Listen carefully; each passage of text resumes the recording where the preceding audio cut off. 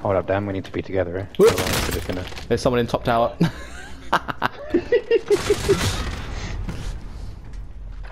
I might go in this building down here, so go down there.